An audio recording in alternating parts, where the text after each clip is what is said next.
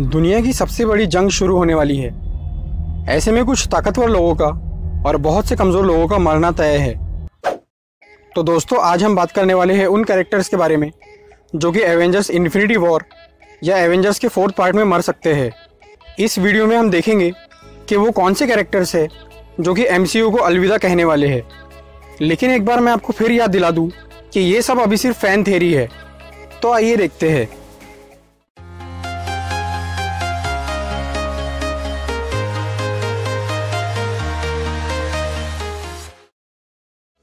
जब से Avengers Infinity war का नाम अनाउंस हुआ है, तब से बस यही बात चालू है कि कौन इस मूवी में मरने वाला है। शायद आप भी हैरान होंगे कि क्यों इतने इंपॉर्टेंट कैरेक्टर्स के मरने की बात चालू है। इसका रीज़न ये है कि मार्वल कॉमिक्स में इतने सारे कैरेक्टर्स हैं, जिनके बारे में अभी बहुत से लोग जानते नहीं। इसीलिए मार्वल स्टूडियोज़ अपने पुराने कैरेक्टर्स को हटाकर इन नए कैरेक्टर्स को मूवी में उतारना चाहता है।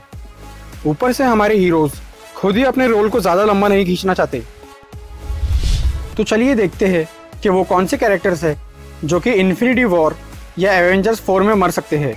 सबसे पहला कैरेक्टर है लोकी लोकी क्यों मर सकता है? इसके बहुत से रीजंस है। सबसे पहला रीज़न ये है कि लोकी ने थेनोस से पंगा लिया है।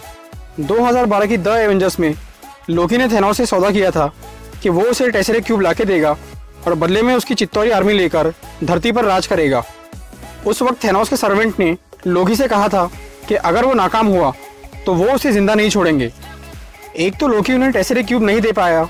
ऊपर से उसने थेनोस का दिया हुआ सेप्टर जिसमें माइंड स्टोन था, वो भी गवा दिया। मार्वल स्टूडियोज के प्रेसिडेंट केविन फाइगी ने कहा है कि इन्फिनिटी वॉर मूवी के शुरुआती पाँच मिनट में ही आपको पता चल जाएगा कि थेनोस सबसे खतरनाक विलेन क्यों है। इस बात का इशारा किसी न किसी की मौत की तरफ़ है। हमें पता है कि इन्फिनिटी वॉर मूवी वहीं से शुरू होगी, जहाँ थॉर रेगनारॉक खत्म हुई थी। और ट्रेलर में भी हम थेनोस और उसकी आर्मी को थॉर और लोकी के साथ देख चुके हैं। थॉर रेगनारॉक में हमने देखा कि लोकी अब थोड़ा सुधर चुका है।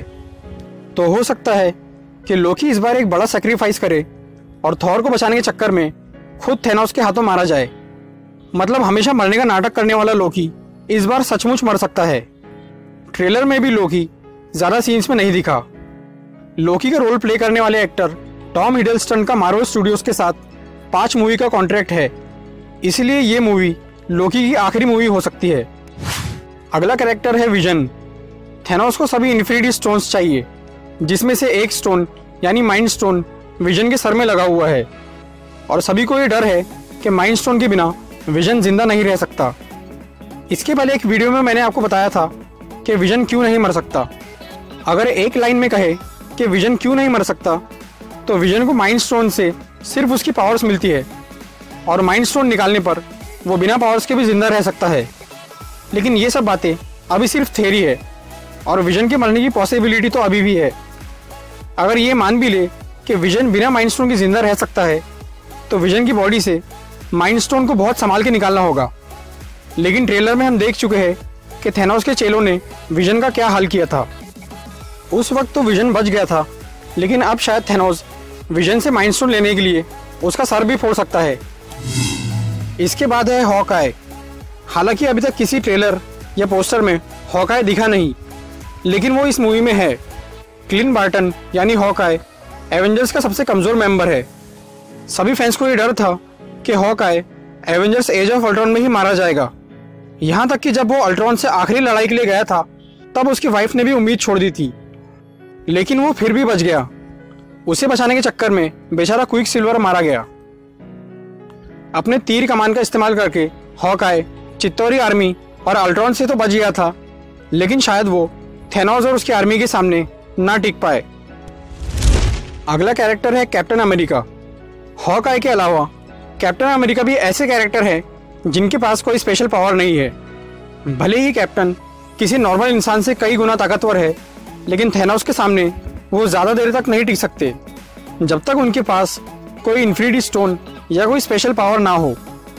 कैप्टन अमेरिका का रोल प्ले करने वाले क्रिस इवांस ऑफिशियली ये कंफर्म कर चुके हैं कि एवेंजर्स फोर एमसीयू में उनकी लास्ट मूवी है। और शायद कैप्टन रिटायर होने की बजाय कॉमिक्स के जैसे ही मूवी में भी मारे जाए। इसके बाद है थॉर हालाँकि थॉर के मरने के चांस थोड़े कम है, लेकिन कॉन्ट्रैक्ट के हिसाब से एवेंजर्स फोर क्रिस हेम्सवर्थ की लास्ट मूवी है। पहले ये डिसाइड था, थॉर रैग्नारॉक, थॉर की आखिरी सोलो मूवी होगी। लेकिन थॉर रैग्नारॉक बहुत बड़ी ब्लॉकबस्टर निकली। इसलिए उस मूवी को थॉर का रिबूट माना जा रहा है।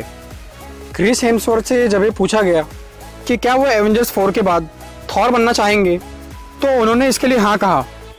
इसलिए शायद हमें फ्यूचर में और भी थॉर की मूवीज़ देखने को मिल सकती है।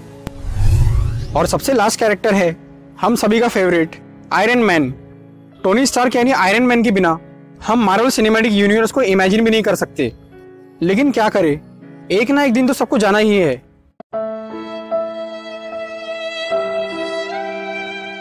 जिस कैरेक्टर के सबसे ज़्यादा मरने के चांस है, वो है आयरन मैन ट्रेलर में हम थेनोज और आयरन मैन को लड़ते हुए देख चुके हैं। इस बार आयरन मैन का सूट बहुत एडवांस है। ये सूट ऑटोमेटिकली रिपेयर हो सकता है। इसके बावजूद भी यहाँ पर आयरन मैन का सूट काफ़ी डैमेज है। हो सकता है कि थैनोस के साथ काफ़ी लंबी लड़ाई के बाद अब ये सूट ठीक से काम नहीं कर रहा। और यहाँ थैनोस टोनी से कहता है, मुझे उम्मीद है कि वो तुम्हें याद रखेंगे। और वो उसकी तरफ़ एक जोरदार पंच मारता हुआ दिखता है। देखने से ऐसा लग रहा है कि इस सीन में आयरन मैन मर जाएगा। लेकिन बाकी हीरोज के जैसे ही एवेंजर्स फोर आयरन मैन की लास्ट मूवी है। मतलब अगर वो इस मूवी में मर भी जाए तो वो किसी तरह से एवेंजर्स फोर में वापस ज़िंदा हो जाएगा। और एवेंजर्स फोर में ही आयरन मैन की फाइनल डेथ होगी, या वो हमेशा के लिए रिटायर हो जाएगा। तो अब बात करते हैं उन कैरेक्टर्स के बारे में, जो कि अभी नहीं मरने वाले। इस लिस्ट में ज़्यादातर वो कैरेक्टर्स है, जो कि एमसीयू में अभी नए हैं। जैसे कि Spiderman Doctor Strange Black Panther Guardians और एंटमैन इन सभी कैरेक्टर की मूवीज़ के अभी सीक्वल आने वाले हैं। इसीलिए ये सब ज़िंदा रहेंगे। और ब्लैक वीडो की सोलो मूवी कंफर्म हो चुकी है। इसीलिए शायद वो भी ज़िंदा रहेगी। और हल्क को मारना तो ऑलमोस्ट इम्पॉसिबल है। हल्क का रोल करने वाले मार्क रफेलो के कॉन्ट्रैक्ट में टोटल छः मूवीज़ है।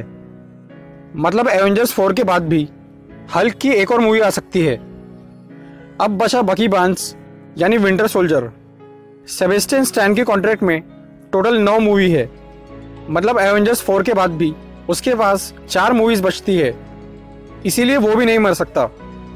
कॉमिक्स में स्टीव रोजर्स के बाद सैम विल्सन या बकी बाँस ने कैप्टन अमेरिका की जगह ली है। यहाँ सेबेस्टियन स्टैन मतलब बकी के कॉन्ट्रैक्ट को देखते हुए लगता है कि वो नया कैप्टन अमेरिका बन सकता है। तो दोस्तों, ये थे वो कुछ इंपॉर्टेंट कैरेक्टर्स जो कि एवेंजर्स इन्फिनिटी वॉर या एवेंजर्स के फोर्थ पार्ट में मर सकते हैं। अगर आपको ये वीडियो अच्छी लगी हो तो इसे लाइक और शेयर ज़रूर करें और ऐसी इंटरेस्टिंग वीडियोस देखने के लिए सब्सक्राइब कीजिए हमारा चैनल और इस बेल को दबाइए ताकि आपको हमारी वीडियोस सही टाइम पर मिल सके